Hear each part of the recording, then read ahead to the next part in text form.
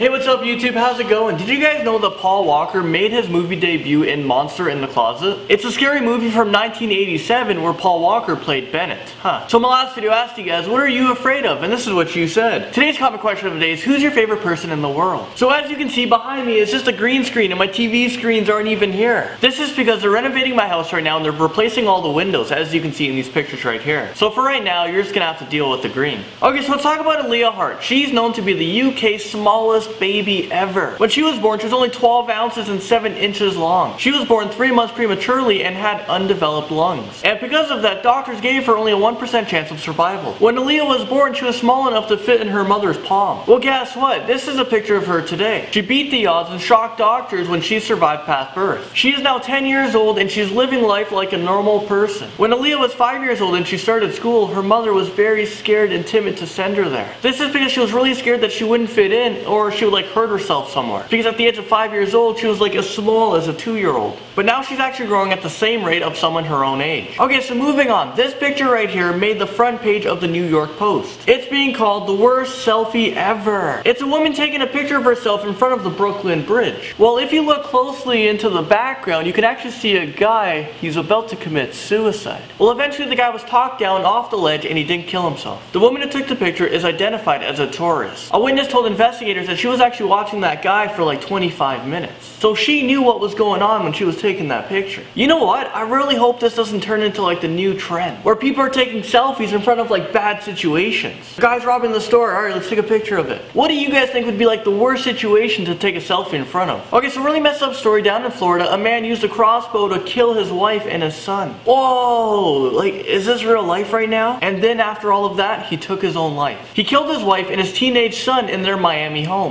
And then he drove hundreds of miles north to Tallahassee where he tried to kill his other son with a crossbow. But when he got there and tried to shoot him, he missed and just hit his ear. They got into a struggle, but the son was able to escape. And then for some reason, the father went to a hotel where he slashed his throat, taking his own life. Officials are still trying to piece together this weird three-day murder-suicide thing. The father is identified as 47-year-old Pedro. But seriously, what the heck is wrong with this guy? How is someone capable of committing crimes like this? So down in the UK, a 140 mile an hour hurricane just hit. These are pictures from the people getting blown down from the wind. There was even a truck that tipped over. More than 120,000 people were left without electricity. This is UK's worst storm in more than 60 years. There's just so much water that rescue teams had to use these small boats to save people. The sea levels are expected to rise as high as it did back in 1953, where 307 people lost their lives. These are actual pictures from 1953. Underneath all that water are roads. So it's not like that place in Venice, Italy where you have to travel on the water. Railroads, buses, airports, and even the bridges were shut down. Let's just hope that everyone can keep safe. Anyways, viewers, that was your Thursday's episode. Thank you so much for watching. Hopefully tomorrow I'll be back home with my two TV screens. So I'll see you guys tomorrow.